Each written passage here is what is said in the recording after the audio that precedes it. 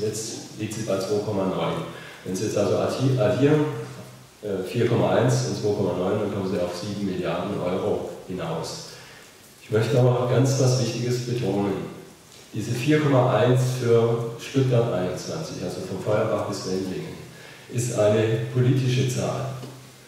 Und das hat jetzt nichts damit zu tun, dass Projekte durch Inflation oder so ohnehin dann auch immer noch teurer werden. Das würde ja nebenbei auch für unsere Alternative K21 auch gelten. Die würde selbstverständlich durch äh, Inflation auch teurer werden. Da brauchen wir gar nicht drum rumreden. Aber äh, Herr Kobel, als er ins Amt kam, letztes Jahr, Ende des Jahr, äh, Jahres, hat seine Experten angewiesen, nochmal ganz genau nachzurechnen, ob die Zahlen von Herrn Medorn stimmen. Und Sie da, sie stimmten bei weitem nicht. Und er kam dann im ersten Rechengang auf 4,9 Milliarden. Und er hatte vorher, wochenlang vorher schon, eine Sollbruchstelle definiert bei 4,5 Milliarden. Wäre für ihn Schluss mit lustig, dann würde er die Bücher zumachen und das Projekt beerdigen. Genauso wie sein Vorvorgänger Herr Ludwig. Und äh, das durfte aber offenbar nicht sein. Ich kann nur mutmaßen, was da hinter den Kulissen vorgegangen ist. Aus meiner Bürgersicht fühlt sich das Ganze nicht sauber an, denn es wurde dann nochmal nachgerechnet und anschließend plötzlich kostete die gleiche Strecke 4,1 Milliarden. Und die Begründung, die geliefert wurde, war, zum einen hat Herr Krobel oder seine Ingenieure oder Betriebswirte, keine Ahnung, wer da wirklich gerechnet hat, die haben beschlossen, die Tunnelwandstärken zu halbieren.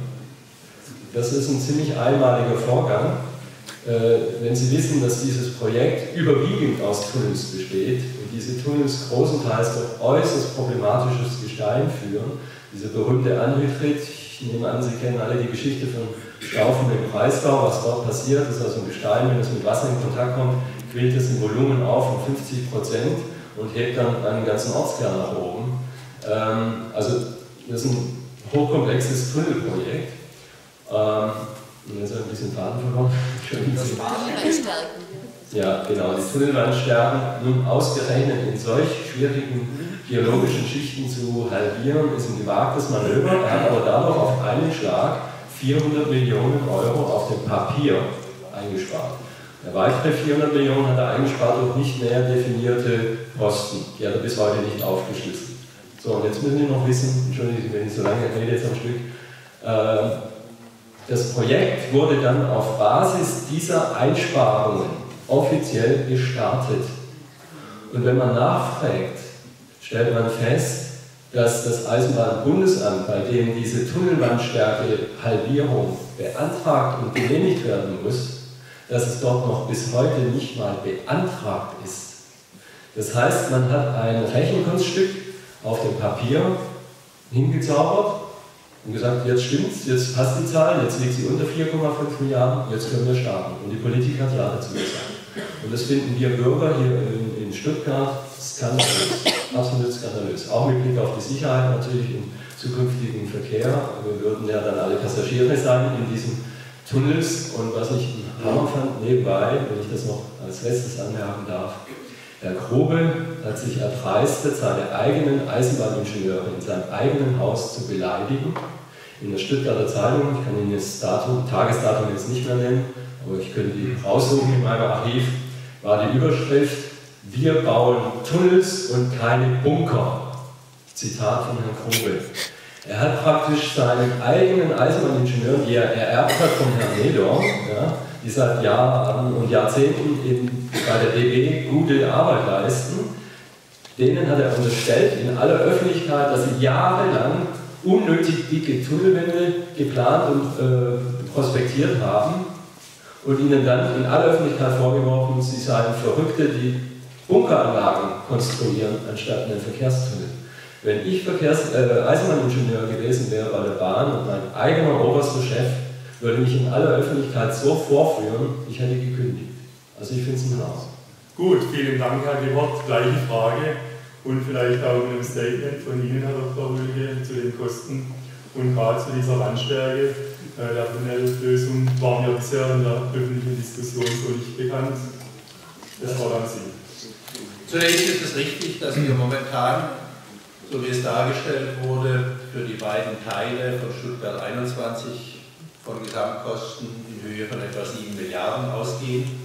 2,9 Milliarden für die Neubaustrecke Stuttgart-Ulm-Wendlingen und 4,1 Milliarden für das Projekt Stuttgart 21 im engeren Sinn, wobei man deutlich machen muss, 500 Millionen etwa dafür für den neuen Tiefbahnhof. Wird ja manchmal in der öffentlichen Diskussion so getan, da wird in Stuttgart der Bahnhof tiefer gelegt und das kostet 7 Milliarden. Das kostet etwa 500 Millionen und etwa 3,6 Milliarden für das Tunnelsystem bzw. für die Trassenanbindung.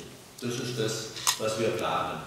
Niemand kann garantieren, dass es dabei bleibt, aber es ist natürlich völlig klar, dass alles andere unverantwortlich wäre als eine solide Planung und auch eine Planung, die Sicherheitsaspekte berücksichtigt. Ich will jetzt über das, was da gesagt wurde, zu offensichtlich äh, zu dünnen Tunneln gar nicht im Einzelnen Stellung nehmen. Es ranken sich ja viele Legenden um dieses Projekt. Beispielsweise war in der letzten Woche im Stern zu lesen, der Tunnel sei so schmal geplant, dass der Zug gar nicht durchkomme und solche Dinge. Also Sie können Stück davon ausgehen, dass so einfach die Dinge nicht liegen. Und es wurde auch es wurde angesprochen von Frei Otto, einem ehemaligen Architekten, der im Streit aus dem Projekt im vergangenen Jahr ausgeschieden ist, behauptet, das Gestein sei so, das Mineralwasser würde quillen und dann würde der Tiefbahnhof für ein U-Boot nach oben aufsteigen.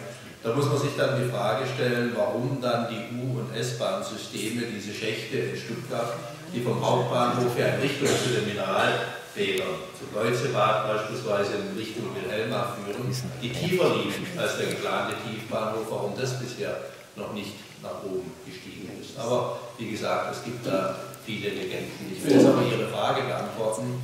Eingangs, da ging es um die Frage, was bedeutet das für den ländlichen Raum oder für das Land Baden-Württemberg im Einzelnen.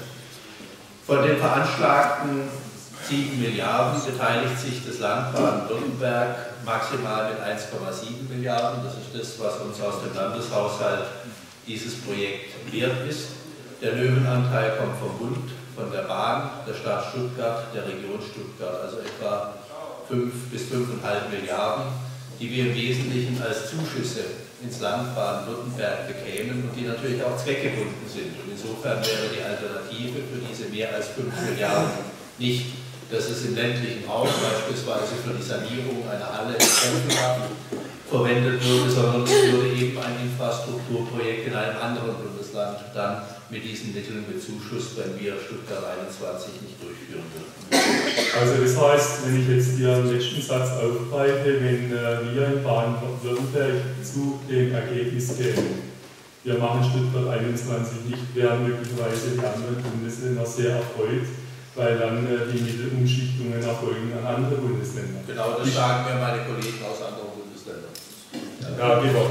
Äh, darf ich grundsätzlich fragen, Herr Kleiner? Ich bekenne, das ist meine erste Podiumsdiskussion in meinem Leben. Ja? Ich bin also Novize.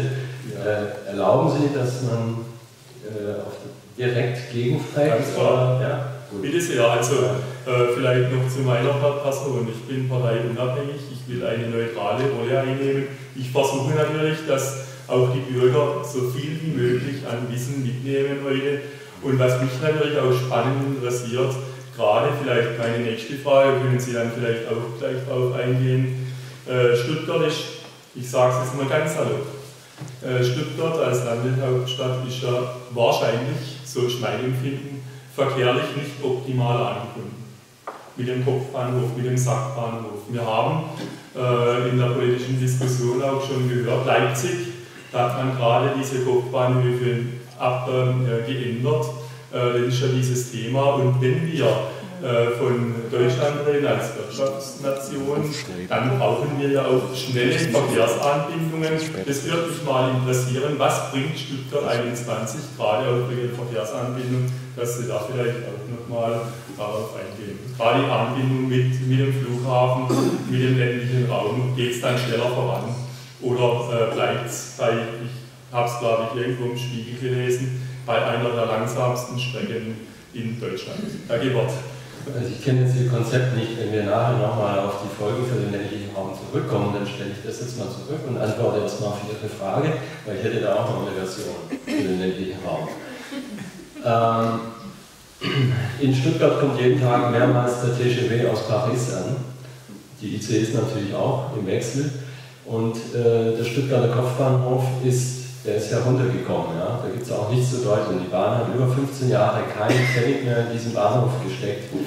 Der ist optisch heruntergekommen und auch technisch. Die Schienen, die Gleise, die Weichen sind renovierungsbedürftig. Gibt es gar keine Frage. Aber trotz dieses heruntergekommenen Zustands ist dieser Bahnhof letztes Jahr getestet worden, wie alle Großstadtbahnhöfe in Deutschland, und schnitt zusammen mit Leipzig auch ein Kopfbahnhof, ein modernisierter Kopfbahnhof, mit als pünktlichster Bahnhof in Deutschland ab. In meinen Augen, in meinen Augen ein ganz wichtiges Kriterium für jeden der Bahnfahrer ist, ich bin einer. Und äh, ein wichtiges anderes Kriterium ist natürlich die Aufenthaltsqualität, der Komfort auf dem Bahnhof. Da ist viel zu tun, ganz klar. Und unser Alternativkonzept Kopfbahnhof 21 sieht da ja auch wirklich kernige Investitionen vor. Optische Aufbesserungen und natürlich auch äh, von der ganzen ja, Reisequalität oder Ankunfts- und Abfahrtsqualität. Äh, ein Bahnhof funktioniert ja nicht nur über seine Technik, sondern der muss ja angenommen werden von den Fahrgästen. Und dann spielt wirklich auch das Ambiente eine große Rolle. Und sehr viele Menschen, und ich würde sagen in Stuttgart mindestens die absolute Mehrheit, die wollen nicht unter der Erde ankommen oder unter der Erde abfahren oder unter der Erde durchgeschossen werden wie eine Rohrpost durch eine schöne Stadt. Also auch solche in Anführungszeichen weiche Faktoren spielen eine Rolle bei der Bewertung eines der Attraktivität eines großen Bahnhofs. Ähm, das Gleisfeld wird im Moment renoviert, umgebaut, ja, äh, offiziell unter der Fahne Stuttgart 21. Ich persönlich habe überhaupt kein Problem damit, wenn die Stuttgart 21 sage, jetzt unser Gleisvorfeld saniert. Finde ich toll, begrüße ich. Mir wäre es natürlich lieber, äh, Sie würden dann anschließend auch unser sonstiges Konzept weiterverfolgen und da werden dann irgendwann die Wege auseinandergehen. Aber im Moment finde ich das eine schöne Entwicklung. Ähm, dieser Bahnhof, also wie gesagt, rangiert schon ohne eine Aufhübschung, ohne eine, äh, eine Renovierung in der Top-Liga. Und insofern kann es also mit dem Bahnhof nichts zu tun haben. Übrigens auch nebenbei dieses Versprechen, dass ein Durchgangsbahnhof schneller wäre als ein Kopfbahnhof, das hat, das hat vor 20 Jahren, 25 Jahren gestimmt. Damals musste man im Kopfbahnhof tatsächlich noch Lokomotiven wechseln, das hat Zeit gekostet. Wer Bahn fährt und nicht einen Güterzug nimmt, sondern Personenzüge, der weiß, dass seit mindestens 15, 20 Jahren jeder Zug vorne und hinten einen Führerstand hat.